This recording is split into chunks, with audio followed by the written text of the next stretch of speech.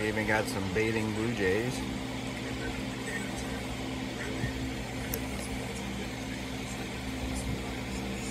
Well, blue jay, I guess.